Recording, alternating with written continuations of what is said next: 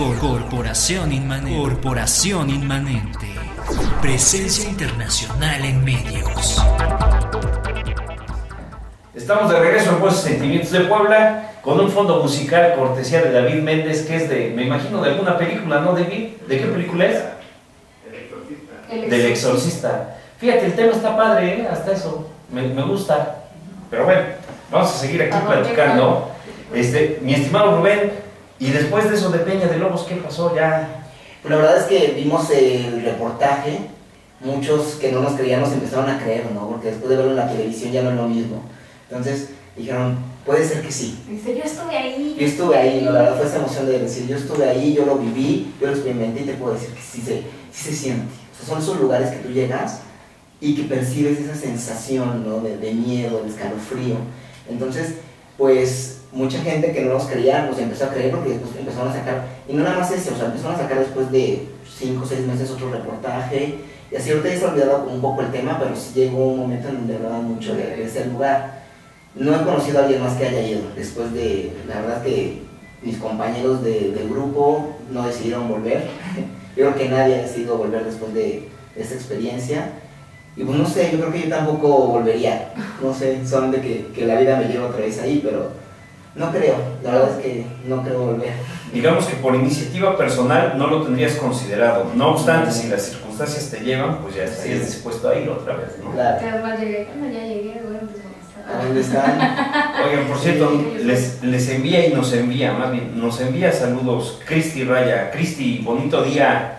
Estamos aquí platicando con Rubén y ya está desde luego esto también linkeado ahí en la cuenta de Twitter del portal, arroba e-culturismo. Pueden seguir ahí eh, la cuenta de Twitter y en su portal e-medioculturismo.com. Ahí para que tengan acceso a este artículo que ten, nos platicaste que ya lo escribiste, ¿no? Ya tienes ahí el artículo. buscar ahí, sí, se llama este, Peña de Lobo, mi experiencia, en donde cuento pues, todo lo que viví, digo, obviamente más extenso, y este, ¿cómo se llama? Pues igual dense una vuelta en el, en el portal, hay cosas también muy padres, leyendas, digo, hablando de este tema, ¿no? De, de Día de Muertos, hay muchísimas historias aquí en Puebla, ¿no? También. E- Esa, esa parte es importante. A ver, quiero aprovechar para, para preguntarles, ¿ustedes qué tal saben de, de leyendas aquí de Puebla? De les- o sea, No, no solo de la ciudad, sino de, digamos, de aquí de la zona. Digo, yo he escuchado algunas, ¿no? Por ejemplo, a propósito de lo que ya estabas platicando de los duendes, justamente por eso hay un barrio en Puebla que se llama Xanenetl, Ah, que proviene del nombre de Xaneque, que Xaneque es una especie de duende. Ujú. Y se dice que en, esta, en este barrio, eh, cercano a la zona de San Francisco, para los que ubiquen es donde actualmente está un- por el Hospital San José, vamos, ahí entre el Hospital San José y los. Fuertes, ahí es Xanenetla, y ahí se comenta, cuentan las leyendas que ahí hay, no sé si hubo o hay todavía, presencia de, de duendes en esta versión, digamos, de chaneques, chaneques o chaneques. Ajá, claro. Este, también, por ejemplo, obviamente por la leyenda de La Llorona o La Nahuala, que hasta una película Ah, se hizo, una película, ¿no? claro. Hay una película de dibujos animados. Y por la zona donde viví muchos años, que es la zona de Álamos, ahí había un casco viejo de hacienda, de la hacienda de San Diego Los Álamos, justamente. Y ahí era muy recurrente escuchar entre los vecinos, ya de la época de mis papás, de mis abuelos, por supuesto, que cuando pasaban en determinado horario por el casco de la hacienda, se les podía aparecer el jinete sin cabeza. Esa nunca. Bueno, pues a, a mí me tocó escucharlo. Y ya de, digamos, de, de gente más cercana a su servidor, alguna vez uno de mis tíos y mi papá, que se iban a trabajar muy temprano y tenían que caminar de donde era la casa de ustedes hacia el famoso entronque de Amalucan, donde pasaban todos los camiones foráneos que iban hacia la sierra y otros puntos, este, me dicen que en ese trayecto ellos creen y perciben que tuvieron un encuentro con un nahual que se transformaba en animal, que nunca, nunca vieron juntos a la persona con la que por momentos platicaban y al animal que encontraban también en el camino, ¿no? Entonces, digo, pues son de las cosas que, Sí, como hace rato platicaba, antes de que iniciáramos el programa, platicaba con Rubén, eh, son temas que, pues, sin lugar a dudas, son en, en sí mismos un misterio, ¿no? En sí mismos un misterio, hay, no hay, cómo es, o cómo se dan, o cómo se hacen, En lo personal, le platicaba a Rubén y bueno, lo comparto con todos ustedes, amigos del auditorio. En lo personal, no he tenido algún encuentro de ese tipo. eh, sin embargo, respeto mucho todos estos temas porque, así como Rubén, así como mi tío, mi papá y otros amigos, otros conocidos platican de algunas historias, pues si las platican es por algo, ¿no? Sí, Entonces, claro. Sí. Fíjate que, por ejemplo, en donde está tu casa, donde está su casa, Muchas en gracias. Cerca de, bueno, de San Pedro Cholula, pertenece al municipio. Ahí hay, la verdad es que mis papás llegaron a vivir ahí hace 20 y algo, 20 algunos años, entonces cuando ellos llegaron de vivir del Distrito Federal, pues sí tenían como que todo ese escepticismo, decir, por favor, ¿no? Como creen, siempre ellos también me decían, entonces llegan literalmente a un pueblo y empiezan a encontrarse con todas esas historias, ¿no? Entonces, bueno, cuando mi papá empieza, realmente él dice que en alguna noche, de esas historias son contadas por mi papá, que en alguna noche, este, de repente empezó a escuchar como campanas, ¿no? Habrá misa o algo así, ¿no? Que la iglesia del pueblo está a dos calles de la casa, entonces pues se escuchan, pero no son como campanas, o sea, como campanas muy pequeñitas. Entonces que se acostó y que a la hora otra vez.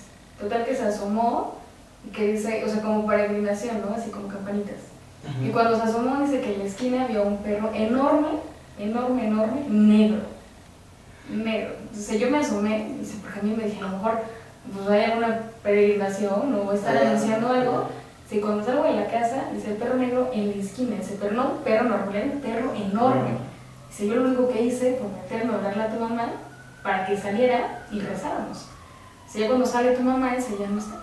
Dice, "Oh", ¿no? Y entonces, esas son cosas que a él le han tocado vivir. Otras historias que nos ha contado la gente, por ejemplo, él tiene mucho la parte de las brujas, Claro. ¿no? Y en el Cerro de Zapotecas, que está muy cerca, Ujú. a mí en lo personal me contó en diciembre, hace muchos años, yo era muy chiquita, alrededor fuego, o sea, como bolas de fuego en círculo. que Se prendían, se ¿Del apagaban. Cerro Zapotecas? Del Cerro Zapotecas. O sea, en la parte de arriba, hacia arriba, se, se veían como bolas de fuego que prendían, Claro. subían, pero, o sea, que primero estaban aquí, se apagaban y aparecían más arriba. Y luego más abajo, o sea, como que arriba, abajo, arriba. Y era, de verdad, nosotros estábamos muy chiquitos y nos quedábamos así de, con todos los vecinitos de la misma edad, ¿no? Gritábamos y nos metíamos y hacíamos, y, y eso me ha tocado verlo en dos ocasiones, ¿no? Y dices, Qué interesante. Oye, oye, y, y de esto que nos estás platicando, más o menos, ¿en qué horario se dio esta, esta experiencia? eso fue, yo fue un diciembre, estábamos en las posadas, Ajá. Y acababa, exactamente no recuerdo, pero yo me acuerdo que veníamos de una posada que habían hecho en la calle, entonces nos quedamos a jugar afuera. Que debe ser entre las 9 y 10 de la noche, exagerando el horario, ¿no? Sí, sí, sí. Porque generalmente las posadas a las eran de las 7, las 8. Siete, siete, ocho. Tú como 9 10 de la noche en diciembre. Entonces nos quedamos así de, órale. Oye, David, tú también eh, estás avecinado ahí por la zona de Cholula, ¿no? ¿A ti no te ha tocado ver algo así? Nada, Tampoco. Nada, nada, nada. Te invito ya. Me invita a mi casa, ¿verdad? Bueno, porque déjenme les platico que aquí hay alguien que ya se puso en contacto con nosotros y que justamente dice, oigan, cuando haya alguna visita a casas y cosas así, este, para tratar de ver actividades paranormales, invítenme. Adrián Sánchez, te mandamos un gran saludo. Un saludote. La verdad es que, insisto, en el caso de tu servidor, respeto mucho estos temas, eh, la verdad no, no creo que sea algo que tengamos en el corto plazo considerado ir a hacer una visita. Pero ¿sabes qué le vamos a, a decir si están de acuerdo? Digo, a reserva de lo que tú quieras comentar ahorita, Connie.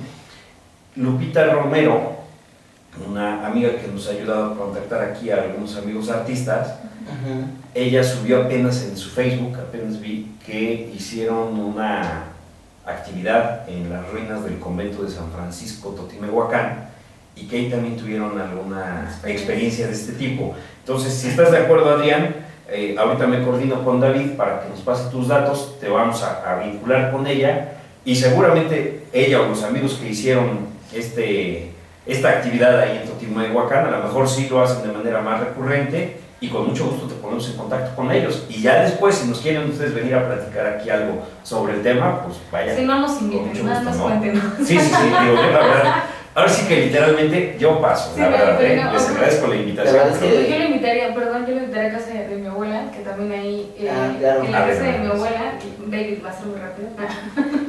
en casa de mi abuela, este, ella eh, realmente nos tocó o sea, muchas cosas, muchas cosas. Los duendes que tú dices, en la casa de mi abuela había duendes. Era de verdad, entrabas en la cocina, o estabas en la sala y dejabas un vaso, y te ibas a la cocina por algo, regresabas a la sala y el vaso ya no estaba. Entonces, así es como el mismo recorrido haciendo memoria. Sí, de verdad. Dices, yo dejé el vaso, me para acá, y empiezas, ¿no? Recorre los puntos. Claro. Y cuando regresas ahí está el vaso que te fuiste a buscar. Entonces, hay algunos hombres que son muy traviesos o de repente, Sí. por ejemplo, nosotros llevábamos algo de comer, no los aventaban. Entonces, sí, eh, estar en la casa de mi abuela de niños era, era algo, sí, bastante este, tenebroso. O otra cosa que se escuchaba muchísimo, con, a mí que era la más pequeña de casa, pues mis papás cuando iban a visitar la aldea, pues me llevaban, ¿no? Entonces, este, me dormía y yo me acuerdo que eran pláticas eternas con mis papás y mi abuela y me quedaba dormida en la mesa. Entonces, cuando mi- yo me despertaba, me despertaba porque ella estaba en un cuarto que estaba en la parte de arriba, pero me despertaba porque se escuchaban pasos y cadenas arrastrando. Eso, eso nos tocó escucharlo a mis primos, a mis hermanos. O sea, no es algo que a lo mejor dices, bueno, tú y tu imaginación Sí. la crearon, un sueño. Claro. Pero yo cuando les conté a mis hermanos me dijeron, sí, yo también lo escuché. Y a mis primos, entonces, estar de verdad estar en la casa de mi abuela, sí era. Y hay historias que ella nos ha contado, porque ella es curandera. Ay, no. Entonces, historia que, que ella nos ha contado de, de- de casos fuertes que ella ha tenido. Pues muchas gracias por el favor de su compañía, gracias a David Méndez por su apoyo en los controles, gracias a todos los que hacen posible que las señales de voz y sentimientos de Puebla a través de sabersinfin.com y corporacioninmanente.com.mx lleguen hasta ustedes y estén ahí disponibles los podcasts. Por supuesto que les invitamos a que si algún programa no pudieron escuchar y es de su interés, pueden entrar a la página www.sabersinfin.com en el link de audios y posteriormente en el de voz y sentimientos de Puebla. Ahí están disponibles todos los programas. Desde el primero hasta el del día de ayer ya están disponibles ahora. Perfecto. ¿no? Y este en unos, en unos minutos más. Y también que visiten el canal de YouTube en el que aparecemos como Abel Pérez, si no me equivoco. Eh, sí, en Abel Pérez en YouTube. Bueno, pues los dejamos. Muy buen día. Nos esperamos mañana en una emisión más de Voces y Sentimientos de Puebla. Ah, y también, por supuesto, recordarles que visiten las páginas de Culturismo. El culturismo, En exactamente. Culturismo, en Twitter los encuentran como. E, eh, guion bajo culturismo, así nos pueden encontrar. Eh, ¿Tú, Rubén, tienes algún Twitter especial? Bueno, el mío es eh, Rubén eh, Vega o me pueden encontrar así como. Pues ahí pueden seguir a nuestros amigos de Culturismo. Un saludo desde Culturismo. Muchas gracias por estar con nosotros. Los esperamos en una próxima emisión. Gracias, como siempre, por su apoyo y que tengan un excelente día. Hasta mañana. Muchas gracias. Corporación, Cor- Corporación Inmanente. Corporación Inmanente. Presencia internacional en medios.